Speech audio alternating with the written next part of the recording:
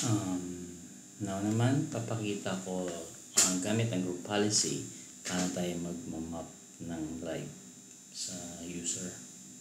So, ang una kong gagawin is gagawa muna ako ng saan? Fold, share folder.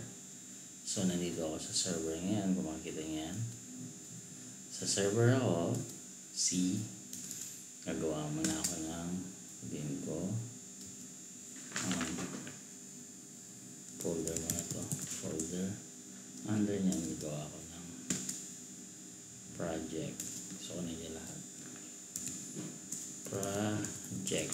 So yung project type uh, kahit anong ano natin let's say yung sample ng project and then yeah sharing advanced sharing share ko lang muna siya.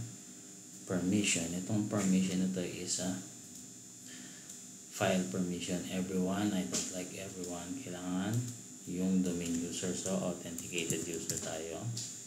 Usually yan ang ginagamit natin user. So okay. Um, change para kumbaga sa file may permission siya. File permission is okay. Okay siya. Tapos sa security ito yung TFS permission. So far users handle users. So all users. So far um, bigyan ko lang siya ng um, uh, mag-add kaya ako edit add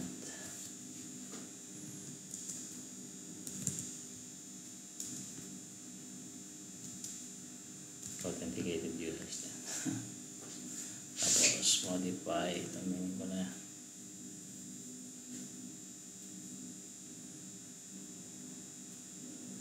Hmm.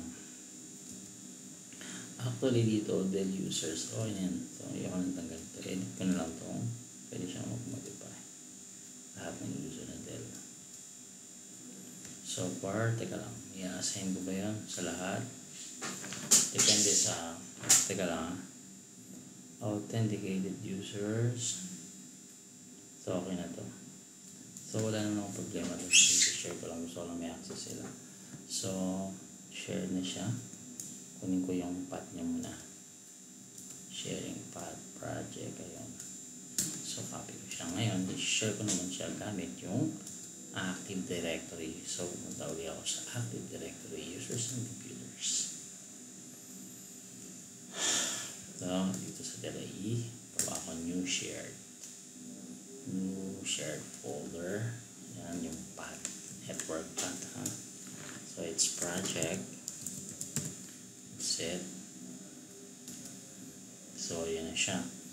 Next thing is, pupunta ako sa group policy. Doon ko siya hmm, forest dito. So, domain, gumawa ko ng Dell team naman yan. Dell A. Gusto ko sa ano lang yan, sa mga sales lang yan. So, sa project, create existing. Project lagi ko. Project type. Sa mga sales, yan sa project, ever. Tapos edit ko lang. Hop. Edit ko na. So, users tayo. Users.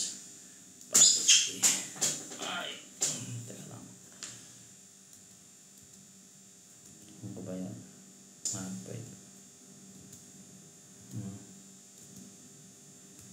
Ito. Drive map. So, right click. New. Map drive. Create tayo. Ha? Diyan, dito na siya. So, okay lang siya. I-relax. Project drive. Ngayon, pwede naman kayo gumawa kung ano yung gusto nyo. So, drive P kasi project ko para hindi confusing. So, i-okay ko lang. That's it. And then, let's see. So far, wala akong sales. Wala ako sa sales, diba? So, I need to create na users from sales. So, punta ako sa Active Directory. Sa sales, kailangan kong gumawa ng user. So, new user. James. James Ingram na lang. So, James dot Ingram. Yan yung lagi niya. Ito. Password. Um, password 1.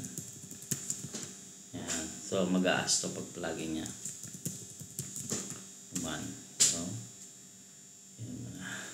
Oh, password. Password 1. Password 1. So, let's see. So, that's it. So, I will try to switch user now. Tingnan natin. Switch account. So, dapat si James Ingram. James dot Ingram. Let's see. Password 1. Let me check. Yan, password. Update lang natin. So, I'll update.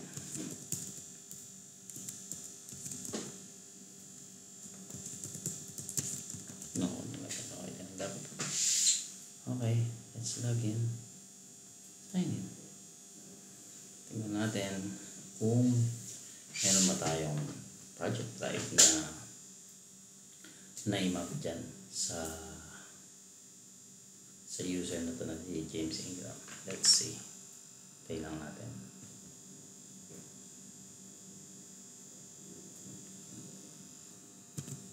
Yan na. So, let's see. Again. First. So far, tingnan natin. Boom. Ayun. Project. Meron akong Yes, meron akong kakayahan mag-create. Delete ko muna ulit. So, so far, successful. That's it. See you sa next video.